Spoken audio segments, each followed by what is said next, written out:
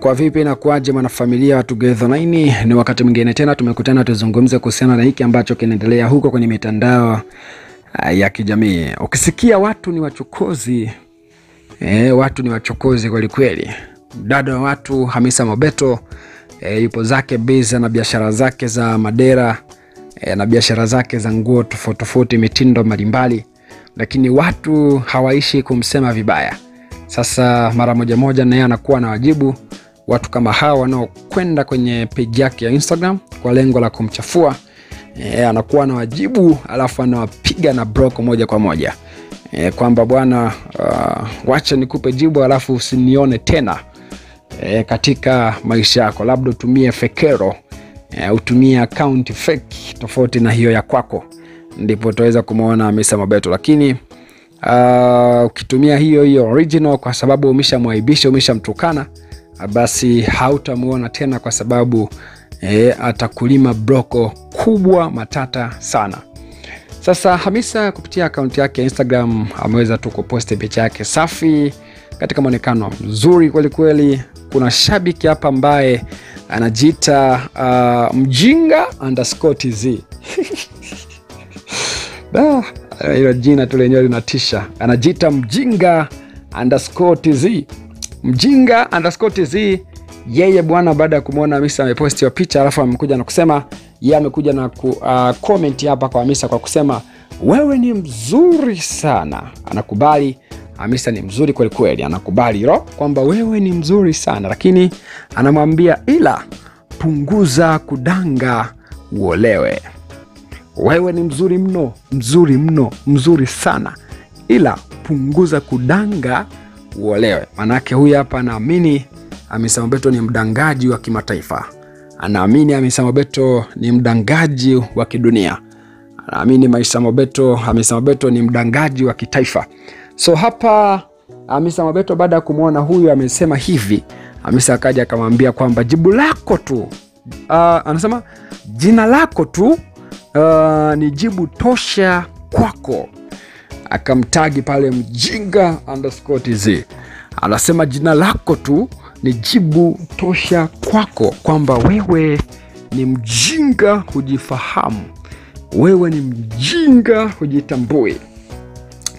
Baada ya kusema hivyo, huyo akaja akasema kwamba hawa mastaa bwana wanaishi maisha ya tabu sana jamani, heri sisi tusiojulikana. Niaminini mimi jamani, kuna mastaa wengine wanalala njaa staa wengine wanakosa hata la kula. Eh, anajiita Mamii na Soro kwamba mastaa wanaishi maisha ya taabu sana, bora hata yeye ambaye hajulikani. Kaza, kuna mastaa ambao wanaishi pasipokuwa hata na hela kula.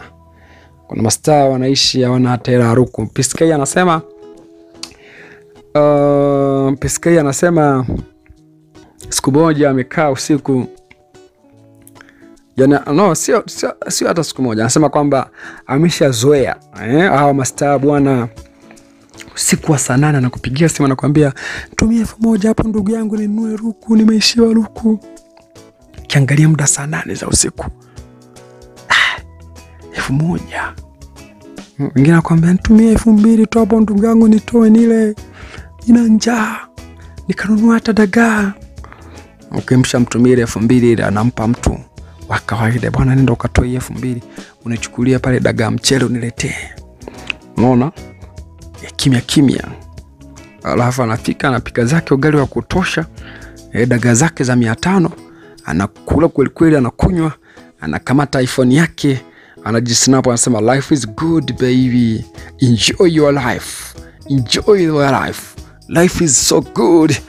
Unaona bwana, kwao manake E, mastaa ndio maana sasa huyu hapa anajiita Mami na Soro anasema kwamba hawa mastaa wana maisha magumu sana, lakini si kwa Hamisa. Hamisa sidhani kama ana maisha magumu, mtu ana biashara zake, amezana Diamond Platnumz, amezana Majizo.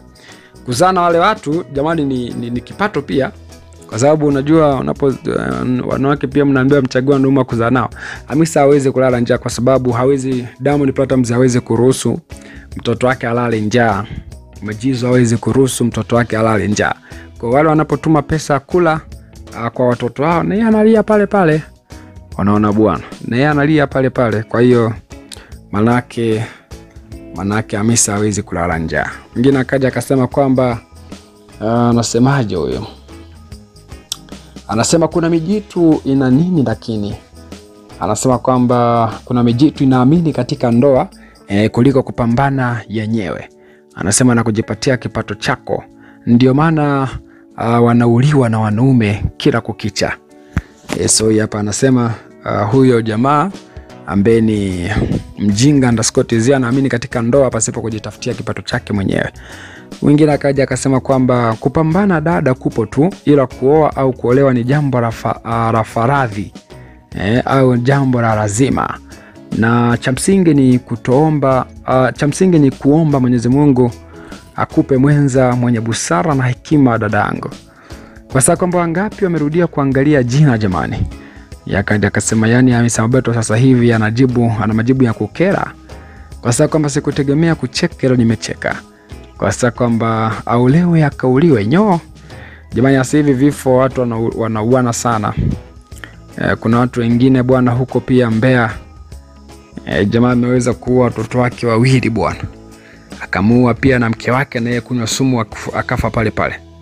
Alafu amejiua kama wiki moja iliyopita, uko ndani tu mpaka mili imeharibika, mili yote, eh, miili yote minne, baba mama na watoto wawili. Mtoto mwingine alikuwa darasa la nne, mtoto mwingine uko form 1.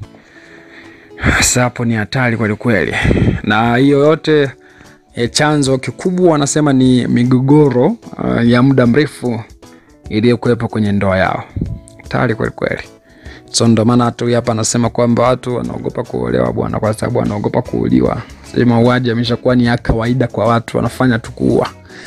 Weka komenti yako hapo chini, sitapita nao, lakini kwa wewe ambaye bado hujasubscribe, hebu fanya kusubscribe sasa, ili mtu wa kwanza kabisa kujipatia update zote ambazo sisi tulikuwa tunapita nazo daily.